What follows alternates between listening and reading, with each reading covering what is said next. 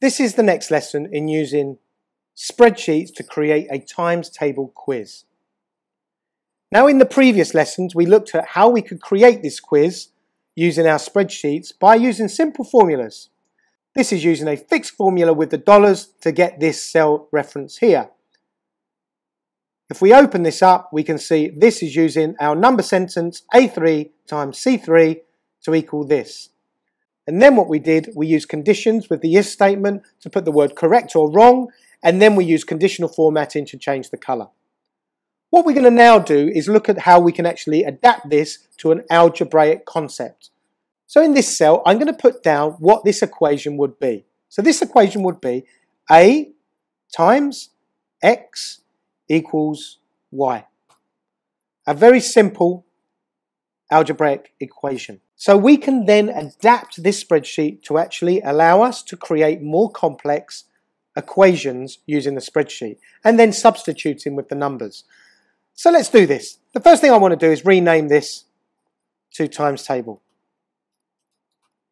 Now I'm going to add a new spreadsheet. The first thing we want to do is create our equation. So I'm going to do this in row 2, but you can do it in any row that you like. So we're going to do an equation. ax plus b equals y. There is our equation. That's what we want our spreadsheet to substitute and create. So what we need to do is we need to put our values in for x and y. So x equals, and let's give x a value, equals 5. And then we're going to put a value in for b as well. Okay, so b equals, and our value for b, let's say that's 6. Okay, so we're going to calculate what y is, and a is going to be a different number, like our times table. So we can title this, this is going to be a, and it's going to be 1, 2, 3, and then we can copy these down to here. Let's make it 12. And then A times, and this is going to be X. So I'm just going to put these as titles here, just to make things a little bit clearer. Now X is here, which is B1.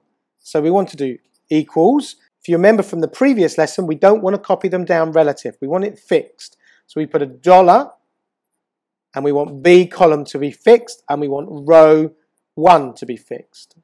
So we're going to copy that down and then we can copy this down here.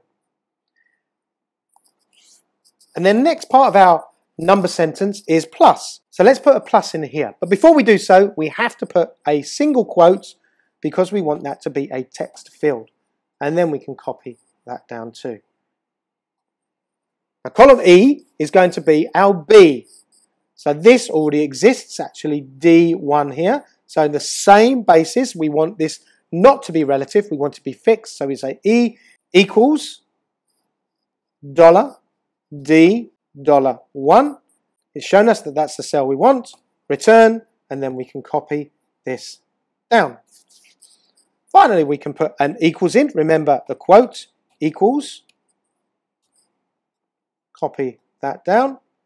And now we can put in y, which is our number sentence. So this would be equals 1 times 5 plus 6. And there is our answer. And again, we can copy this down. Now let's just centralize this. So we've forgotten to put our B in there as our title. and this is going to be y. Now let's just centralize all of these just to make things a little bit tidier. Now there you can see we've got our number sentence and we're using basic algebra. You can have more complex algebraic equations and get the spreadsheet to calculate it in the same way.